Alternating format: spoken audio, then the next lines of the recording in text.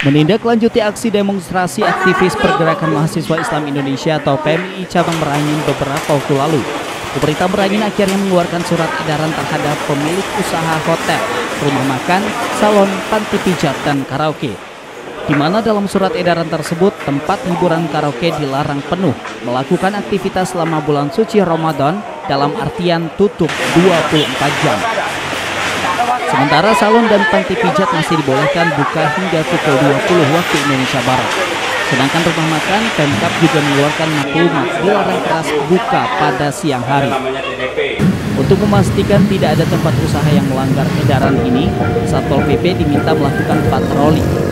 Sekda meminta semua pihak mematuhi surat edaran ini guna menghormati umat muslim yang melakukan ibadah puasa.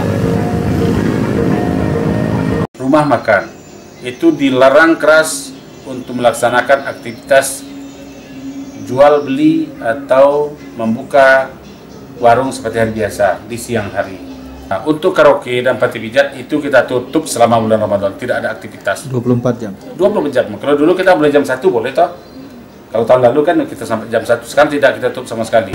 Lut Hidayat, Jambi TV.